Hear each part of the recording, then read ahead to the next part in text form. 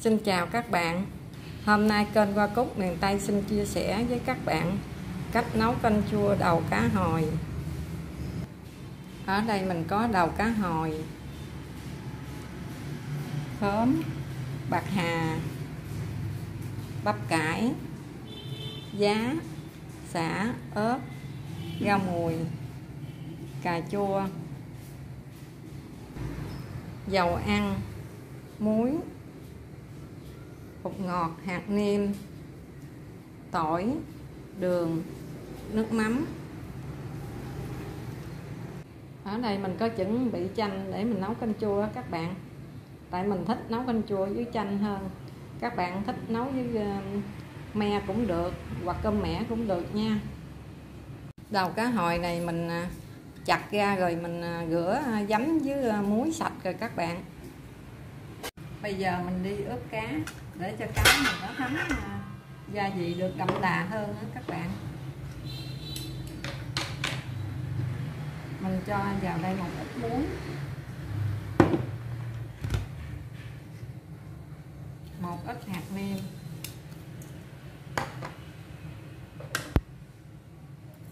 Một ít bột ngọt. Một ít tiêu. Mình trộn đều lên khoảng 15 phút là mình làm đi nấu được rồi nha các bạn. Băm tỏi xong rồi mình đi à, dập xả, mình cắt khúc nha.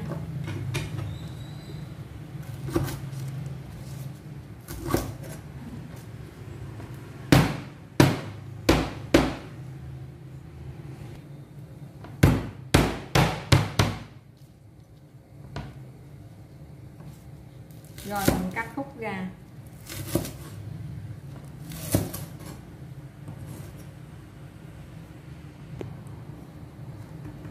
cắt xong mình cho vô dĩa.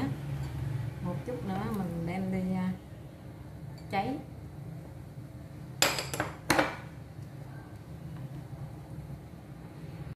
Bây giờ mình bắt chảo lên, mình nấu canh chua luôn nha các bạn.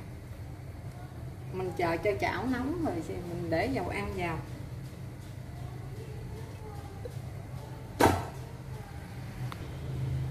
Dầu ăn của mình nóng rồi mình cho tỏi vào mình phi cho thơm xả đập dọc mình cho vào luôn.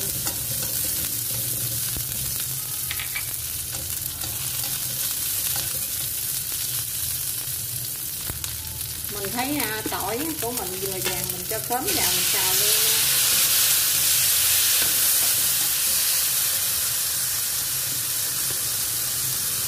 Mình cho một ít dầu cà chua mình xào luôn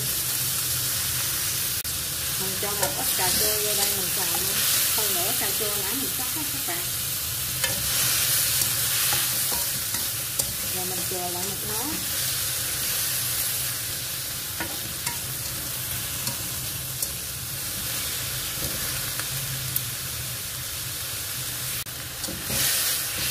thơm lắm luôn các bạn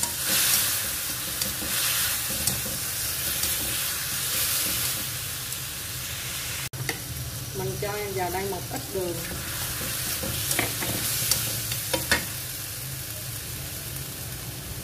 Một ít muối. Để cho cà với lại tớm của mình nó thấm gia vị được đậm đà hơn.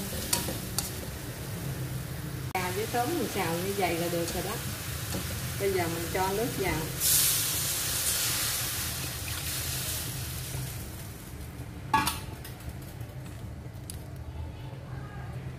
Rồi mình đậy nắp lại, mình chờ nước ờ, nước sôi rồi mình mới để cá vào nha.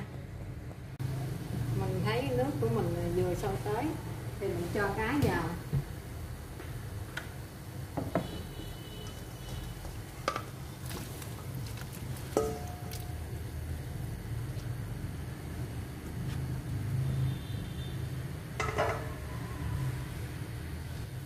Mình để này mình chờ cho cá chín á rồi mình lấy vớt cá ra dĩa.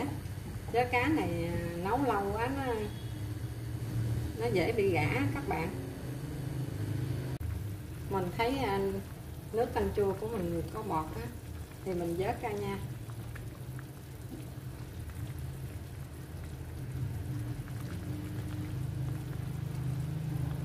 Mình kiểm tra coi à, cá của mình vừa chín tới á, thì mình gấp ra luôn. Để nấu lâu quá cái cá nó bị gã.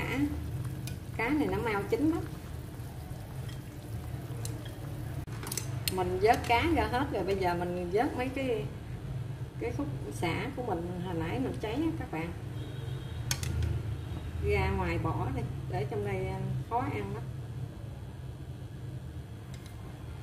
Mình vớt cá ra hết rồi, bây giờ mình nêm canh chua luôn nha các bạn.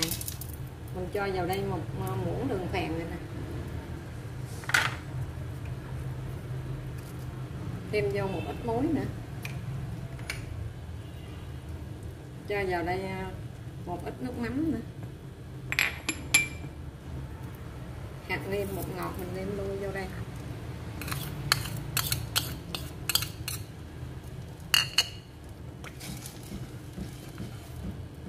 Mình nêm xong rồi mình cho bắp cải à, của mình vô trước nha các bạn.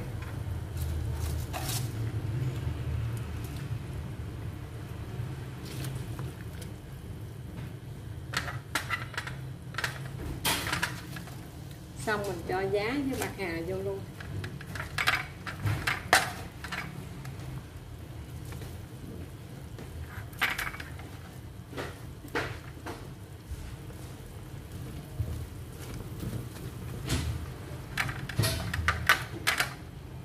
Cà chua hồi nãy mình chừa lại đó.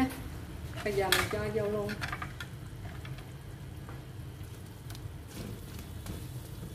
Để đây cho nước vừa sôi thì mình tắt lửa giá bạc hà cà chua, bắp cải mình để vô xong rồi, mình thấy à, nước canh chua của mình sôi rồi mình tắt lửa luôn nha. Xong mình tắt lửa rồi cái mình cho vô đây nước cốt chanh. Ở đây mình cho bao nhiêu nước cốt chanh này các bạn?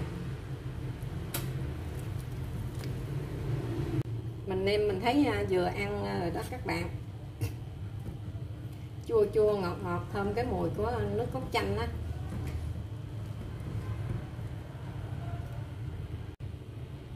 Giờ mình tắt lửa luôn nha các bạn.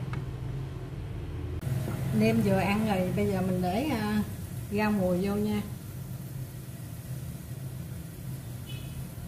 Xong cái mình múc cá uh, múc uh, gato là mình dùng được rồi đó. Nồi canh chua của mình chín rồi, bây giờ mình múc gato để mình chuẩn bị ăn nha các bạn.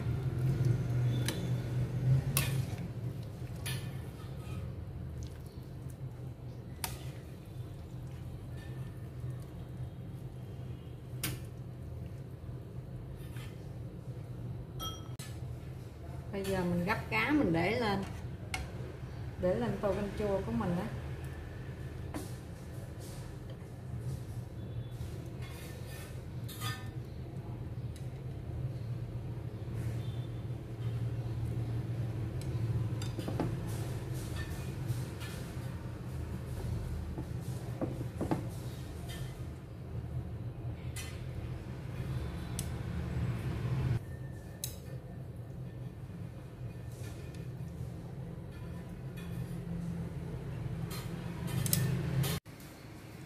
canh chua đầu cá hồi của mình à, nấu à, đến đây đã hoàn thành rồi các bạn ơi.